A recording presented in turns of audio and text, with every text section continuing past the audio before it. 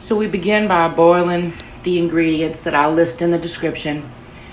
Then I strained it and laid it out to kind of cool. This is the juice that was left over, and we'll keep that for a little bit later.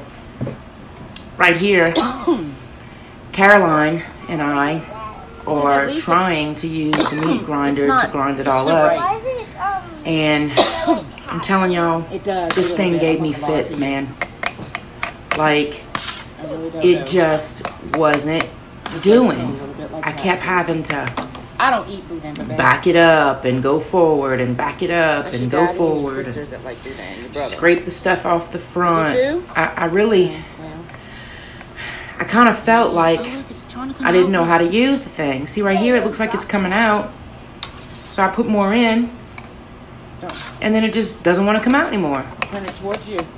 So if anybody out there knows what I did wrong, There you go, just like that. um, let me know. that was fun when I yep. Caroline wanted to help, so uh, There you go. I figured why not? Couldn't get any worse than I was You doing. getting it? So here she goes. Love that face. It's That's the hard working. Cajun face right there. Me As you can see, I'm still in my night clothes. That's because it, the food that you saw me boil in the beginning, the uh. Chicken. oh, juicy. Uh, I'm sorry, not chicken. Well, chicken livers, um, oh, it shot out the. It hit my phone. roast from a wild hog, Ew, Um, boudin juice on my and the. Trinity, the celery, bell peppers, and onions. I even put some garlic in there. They had to boil for grinding it, like three hours. Look how yucky that looks. I mean, come on, y'all. I was doing See, something wrong with this grinder, for real. Stop, stop, Um, baby. But I kept, I kept trying. Stop, You know, we wound up You're bad. You grinding it, pulling it back out, and taking it out the top and using that because obviously I am grinder stupid. But you know, whatever. I'm gonna keep um, it, and it's not. Caroline was a big help. She was very encouraging, just telling me I could do it, mom, and Crazy smells reason, but yummy, and I love boudin, and you know things like that. Why didn't you try it But um, out? like I said, I cooked all these it ingredients for about before. I don't It understand. was a good two and a half, three and a half hours. You're gonna blame your daddy 'cause he just put it boil, boil, boil, boil. I added a little bit of salt and pepper and some Beazells, And he says but um, um, I didn't add too many seasonings because Is that what he said? uh, I wanted to add it at the end. And, and right there, you saw me blocking the grinder with my spoon. That's because a minute ago when mean, I was spinning, it. boudin juice shot out and hit my phone. So I was trying Well, to uh, boudin yet, hinder that from happening again. And the green onions. Uh, here I am, we're almost done. Beazells. We getting there. I love Um, Oh, I just know grinding you do. away. Trying to, still trying to figure out how in the world to work this time, dang huh? grinder. I'm telling y'all, this thing gave me fits, I- I and I but I persevered beef on everything. because Papa Texas needed some egg roll videos, and we the kids and my husband like boudin egg rolls, and we always buy them. So I figured, what the heck, I'm gonna go for it myself. Um, this is actually my first time ever making boudin at all. Um, not coming out They told me it was good, but I don't, eat boudin. That's right. I'm a Cajun who doesn't eat boudin. Whatevs. I also don't suck the heads on tried. It's not- crawfish. Whatevs. i don't it's not i would eat the crap out some crawfish, And it's just making my. but I don't suck the heads. I don't know why. I just think it's yucky. Anyway, back to the boudin. Um, still trying to make this grinder work.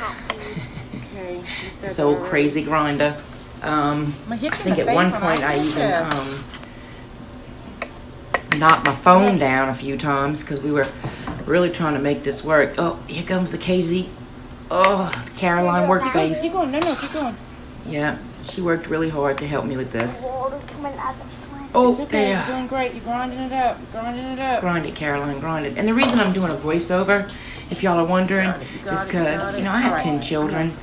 There is so much background noise. Y'all Yeah, I feel it getting hard. not appreciate that in any way, shape. Oh, wait, I think I'm about to knock the phone over because I started getting kind of crazy with the grinder. Oh, there goes the Oh, phone. phone. And no, I did not edit it out.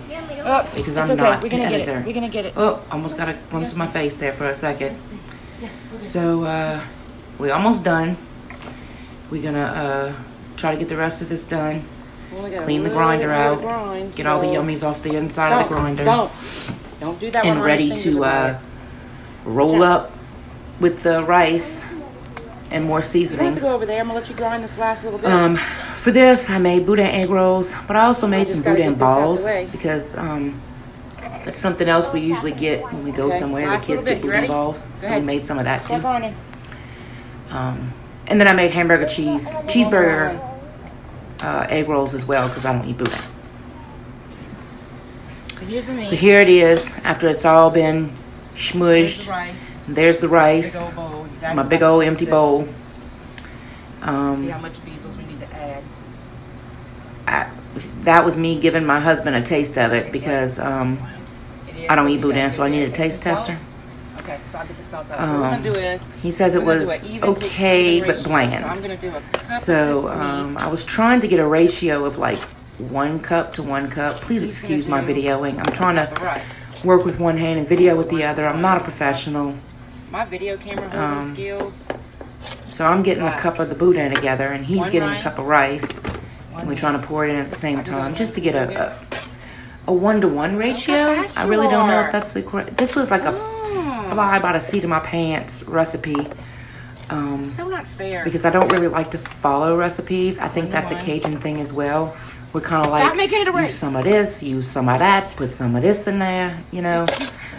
Um, so we kind of got uh, one for one right, we're gonna continue to do this till in there. Then we started throw in some adding the seasonings, and y'all, this is my favorite seasonings. My, one of my very good friends is the inventor. Um, he likes the Beazells. Her her husband's the inventor, and I can't get enough of all of their stuff. the other half. And uh, now I'm adding some green onions that I chopped earlier to it. Good so far. and um, Beazells, as you saw. And uh, then we're just gonna kind of smoosh it around. Um, add a little bit of salt because we some salt lovers. That's right. Cholesterol is not a care. Um, that's some cayenne pepper because Beazells is not um, super spicy. It's got a good flavor, but um, my kids and my husband tend to like things a little spicy. So we added some cayenne pepper This kitchen really needs some light. and um, that's some garlic powder because he said it needed some more garlic flavor. So then I'm gonna smudge it all around here in a second, I think, unless I drop my phone Stay in the again. Garlic um, powder is in my fancy schmancy. oh, this is just more seasonings. I don't even know what I handed him. That's probably onion powder. Um, yeah, when you're making stuff like Done this, you gotta you can look at a recipe, but you gotta put in there what You you're gonna you gonna eat. If you and your kids ain't gonna eat it, or your spouse ain't gonna eat it, there ain't no point in following a One recipe. hand. You know, if you don't like garlic, don't put garlic in it. If you You like know about a lot of garlic, put a lot of garlic in it. You know, that's just Here, how you do it. Camera. Just video camera. So uh, Not me. Here it is. The hubby took the phone. I can't believe he doesn't really like to do stuff like you this. used to? He took it so I could roll it around, and as you can see, it's kind of, it's like it's kind of Huh? dry. You know, because um, there's not a lot of juice in it, and that's why we So, reserved that juice that we reserved.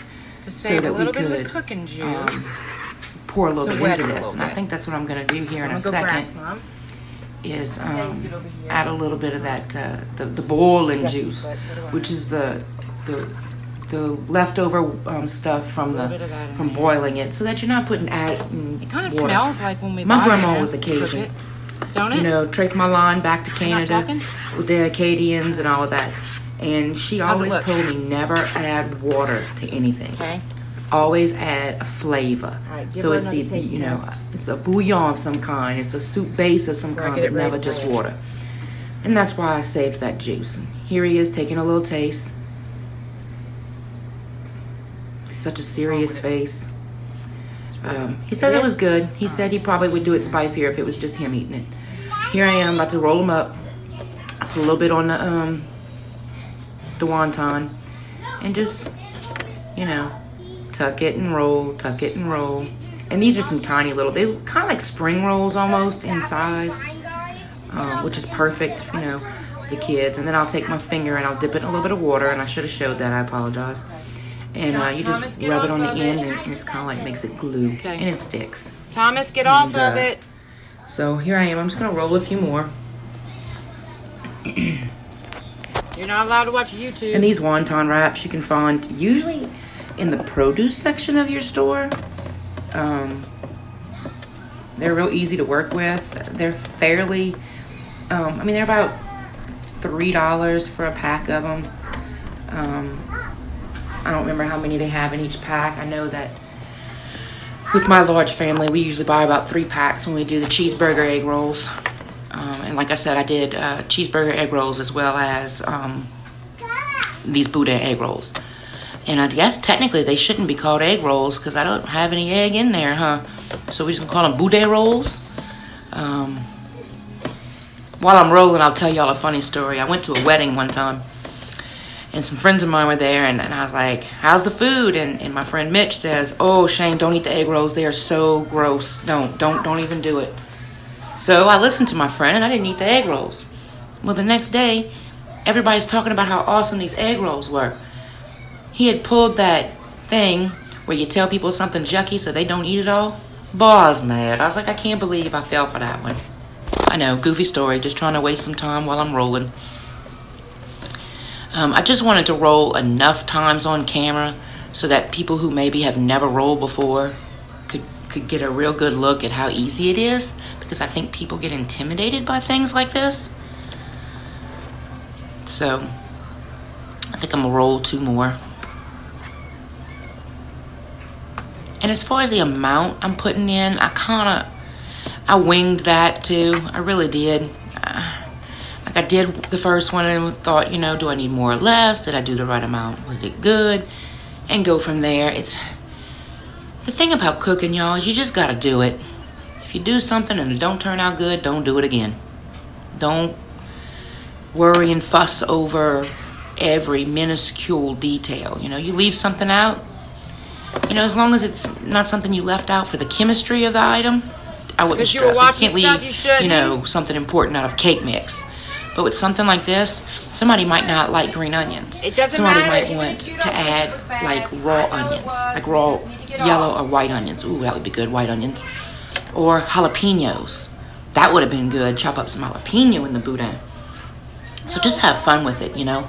And uh, in a minute, I'm going to start making the boudin balls. So here I am right. rolling up some of the boudin um, into a ball form, and that's about the size a boudin ball is. They're they're fairly large, but you know that's just how they like them, you know. So then here I have some flour seasoned with a bunch of stuff, Beazells, eggs, and some breadcrumbs I made myself. Please excuse my ugly cabinets. We just moved into this house, and I haven't had a chance to change all that. So I'm putting it in the flour and seasoning mixture first and just rolling it around to coat it, not pushing too hard. Then I'm gonna put it in the egg and coat it with the egg. And then I'm gonna put it in my homemade breadcrumbs. And my breadcrumbs are easy. You know what I do? I buy or uh, the bread at the bread store that's going close to date and you can't eat it. And um, I toast it in the oven with nothing on it. And then I run it through a blender. And then I bag it up in Ziploc bags and put it in the freezer. You know, so I'm gonna do another one to give you an idea of uh, how easy this really is. I'm just gonna roll up a ball of boudin, roll it around in my Beazells and parsley. I think I had in there some dried parsley and flour um, mixture, and then in my plain old egg mixture, and then into my breadcrumbs. Now, what I did with them after we left here is I put them in. I put the pan of egg rolls and boudin balls in the freezer. I find if you're gonna fry something that you're making on your own like this, I find letting it sit in the freezer for about 20 minutes really helps when it comes time to uh to fry it. Like it holds together better. I don't know if that's a thing, but that's what I do. Okay. These are the boudin Dirty floor. So here's the uh, boudin balls and the uh, boudin egg rolls on the pan. And uh, I think I'm about to do some cheeseburger ones just to give you an idea. Um, this is just ground meat with the Trinity, lots of garlic, that big old hunk of garlic, mm, garlic. And then I took some, uh, and then I threw some celery in there. cheese, just some cheddar cheese, spoonful of it and put it and on put some of that in there. Of course, salt, pepper, and basil. Um, of of course. Makes it tasty, yummy. cheese. Oh, that's a lot of cheese. You know, oh well, this will be use as much cheese as you want. Use whatever kind of And cheese you want. it. Don't use cheese. We've had them plenty of times where Mama didn't feel like going by cheese. wraps can be kinda Um, we've done it with American cheese. and, You know, one slice can maybe go into three boudin, I mean, in boudin. when I get to Good lord, end, into three egg rolls. it. Like See, now I'm using the water, making it stick, Glue it up. And as you can see, it's kind of dark. That's because we outside. We wanted to fry outside and not heat up the house. This is South Louisiana. It was hot. Tried the first Here he is putting in um, one egg roll and one boudin ball just to kind of see uh, how they're going to taste. Here's Alicia. It's too hot. She's scared. she's going to go ahead and take a bite of, uh, I believe she's going to eat a bite of the egg roll. Yeah. Let's see. Her face Too will tell. Oh, hot. Oh, she said too hot. good. Um, Daniel really enjoyed the boudin balls. He said they were crispy and That is good. really good, and Alicia really liked the boudin egg rolls. They Um, taste like the store ones. so yeah, there you go. The big ones are the cheeseburger, and the little ones are the frying away. Thank y'all for watching. Peace out.